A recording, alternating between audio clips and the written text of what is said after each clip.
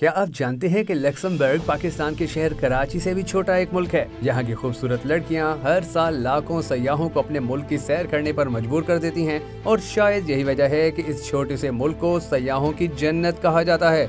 अक्टूबर 2023 में यहाँ की आबादी सिर्फ़ छह लाख साठ हज़ार लोगों पर मुश्तमिल थी लेकिन यहाँ तकरीबन हर शख्स ही करोड़पति है।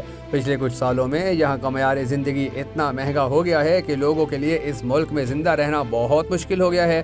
पैसा बचाने के लिए लोग यहाँ दिन भर काम करते हैं और रात को दूसरे ममालिक में जाकर रहते हैं। लक्समबर्ग में घर खरीदने या किराए पर लेने के लिए लोगों को बहुत ज़्यादा रकम खर्च करनी पड़ती है। एसोसिएट प्रेस की रिपोर्ट के मुताबिक यहाँ पर पास्कल जावर नामी एक टीचर को घर किराए पर लेने के लिए पाँच साल तक इंतज़ार करना पड़ा था। यहाँ दो कमरों का फ्लैट हासिल करने के लिए हर माह दो हज़ार यूरो, यानी पाकिस्तानी तकरीबन छह लाख रुपए अदा करने पड़ते हैं।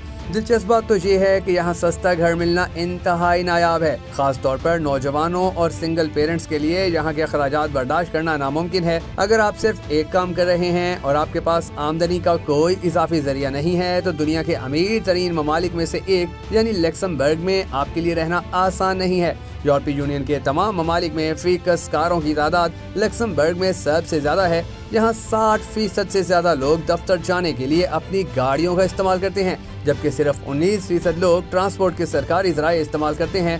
ऐसे में कुछ साल पहले सड़कों की भीड़ को कम करने के लिए पब्लिक ट्रांसपोर्ट को बिल्कुल मुफ़्त कर दिया गया था। साल 2019 के दौरान लक्समबर्ग दुनिया का पहला मुल्क बन गया था, जिसने पूरे मुल्क में कहीं भी आना जाना बिल्कुल मुफ़्त कर दिया था। यानी अगर आप सरकारी ट्रेनों, ट्रामों और बसों में सफ़र करते हैं तो आपको कोई किराया अदा करने की ज़रूरत नहीं है।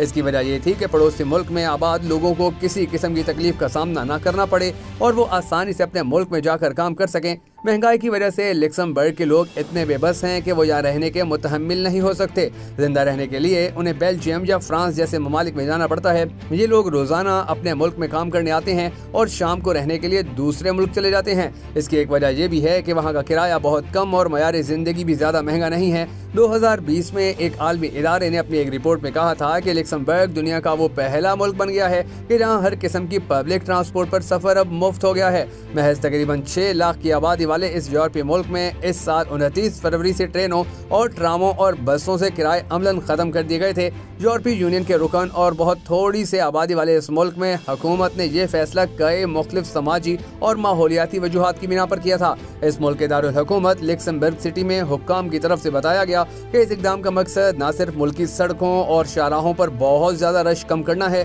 बल्कि इसके ज़रिए आम शहरियों की जाती ट्रांसपोर्ट, मसलन गाड़ियों वगैरह की वजह से पैदा होने वाली माहौलियाती आलूदगी को भी कम किया जा सकेगा। इसके अलावा इस इकदाम से लिक्समबर्ग के इन शहरियों की भी बहुत मदद हो जाएगी कि जिनकी औसत माहाना आमदनी मुल्क की औसत से कदरे कम है। लिक्समबर्ग यूरोपीय यूनियन के काफ़ी अमीर रुकन ममालिक में से एक माना जाता है। वहाँ अब कोई भी मकामी शहरी या गैर मुल्की हर किस्म की पब्लिक ट्रांसपोर्ट पर साल भर मुफ़्त सफ़र कर सकेगा। बशर्त ये कि उसने स्टैंडर्ड क्लास में सफ़र करने के लिए 440 यूरो यानी उस वक्त के चार अमरीकी डॉलर के इवज अपना सालाना पास बनाया हुआ हो।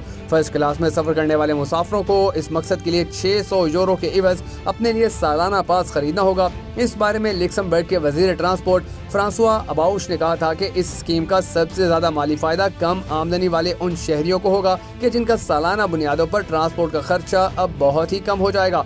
इसके अलावा इस सहूलत की वजह से अवामी सतह पर पूरे मुल्क में आमदोरफ्त न सिर्फ़ ज़्यादा तेज रफ्तार और आसान हो जाएगी, बल्कि ये माहौलियाती तब्दीलियों से पैदा होने वाले बहुत से मसाइल का एक बहुत मुस्बत और खुशाइन जवाब भी है। लेक्समबर्ग की सरहदें जर्मनी के अलावा बेल्जियम और फ्रांस से भी मिलती हैं।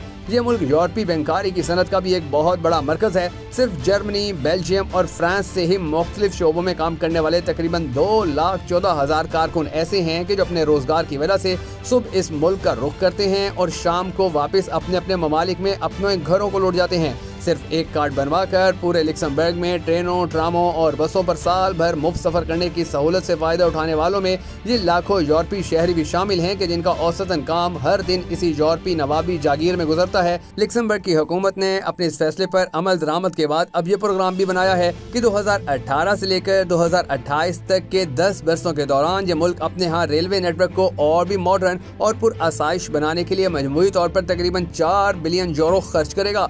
इसके अलावा इस अरसे में मुल्क भर में बसों का निज़ाम भी जदीद तर बनाया जाएगा और इस मुल्क की जर्मनी, फ्रांस और बेल्जियम से मिलने वाली सरहदों के करीब ऐसे पार्क एंड राइड स्टेशन भी बनाए जाएँगे कि जहाँ इन ममालिक के शहरी अपनी गाड़ियाँ पार्क करके ट्रेनों, ट्रामों और बसों के ज़रिए मुफ़्त सफ़र करते हुए लिक्समबर्ग में अपने अपने रोज़गार की जगहों तक जा सकेंगे। किसी मुल्क के दारकूमत में आम शहरियों के लिए हर किस्म की ट्रांसपोर्ट मुफ़्त कर देने का फैसला बाल्टिक की जमहूरिया एस्टोनिया का दारकूमत टालेन भी कर चुका है, लेकिन लिक्समबर्ग अब दुनिया का वो पहला और वाहिद मुल्क बन गया है कि जहाँ मुल्क भर में अब हर किस्म की पब्लिक ट्रांसपोर्ट पर मुफ़्त सफ़र किया जा सकता है। दोस्तों, अगर आपको हमारी ये वीडियो पसंद आई हो तो भगत नेटवर्क वीडियोस को सपोर्ट करने के लिए इस वीडियो को लाइक और शेयर ज़रूर कर दीजिएगा।